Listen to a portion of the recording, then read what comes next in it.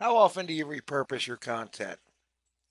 Writing blog posts can be hard at times. I've often written about ways to make it easier for you, but there are times that it's still quite hard.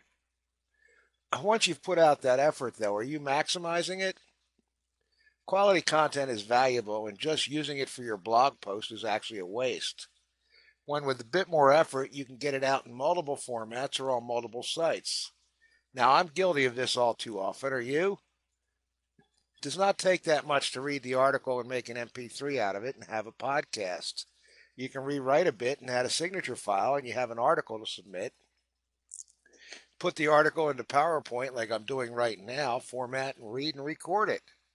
You now have a video.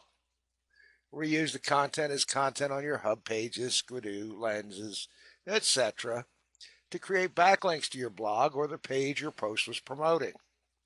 None of these will take you a long time to accomplish, and the benefit you can get from doing this is immense.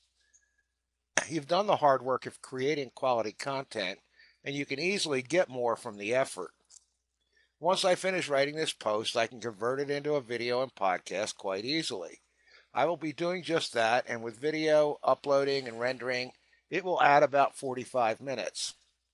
When I'm done, though, I'll have a podcast delivered to a variety of services through PodPress from the blog and seven to eight new listings on a variety of video sites. Think I might get a bit more traffic from that effort? You can do it easily if you just follow the steps in the Sunday night cash plan.